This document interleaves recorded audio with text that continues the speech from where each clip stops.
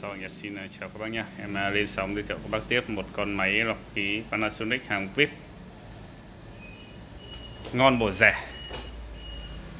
Con này thì uh, dùng được cho phòng là vào 50 mét vuông đổ lại các bác nhé. Đây là dòng phân khúc cao cấp nhất của Panasonic Có cảm biến phát hiện người. Đấy, cảm biến phát hiện người các bác nhé.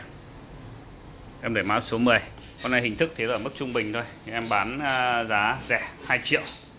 Đây. Một con máy uh, VIP ngon bổ rẻ. Quá là hợp lý về giá thành luôn. Các bác Đã đấu biến áp điện 220V rồi. Cảm biến ánh sáng. Đấy, Full tính năng luôn. Đấy, Tình trạng hình thức như trên clip các bác nhìn con này được cái màng HEPA zin theo máy vẫn còn rất đẹp các bác nhé màng nào đủ tiêu chuẩn em để lại màng này zin còn rất mới này. HEPA zin nhé. Màng than rất dày luôn. 2 triệu cho một con máy lọc khí Panasonic VIP ngon bổ rẻ lành bền đẹp. Đấy, mẫu này là cái mẫu cao cấp nhất của Panasonic.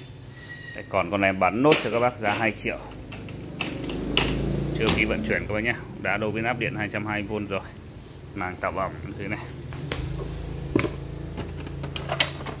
Bình nước sạch. Nói chung là ruột gan rất ngon lành các bác nhé. Sạch đẹp. Cái màng tạo bỏng zin rất đẹp luôn nhé. Đấy ruột cam sạch đẹp. Hình thức bên ngoài thì ở mức trung bình thôi. Đấy. ngon bột rẻ cho các bác nhé. Chiếc này sản xuất năm 2012 66W vĩnh H70 8233 mã series nhé. Đây là một cái chiếc máy nó là phân khúc cao cấp nhất. Đấy, theo em đánh giá em là người bán lâu rồi em đánh giá các bác đây là một cái con rất đáng để các bác mua nhé. Thì thực ra cái tầm tiền 2 triệu này mà các bác sở hữu một cái con máy vip như thế này thì nó là quá hợp lý rồi dùng phòng ngủ phòng khách đều rất ok nhé. Chào các bác.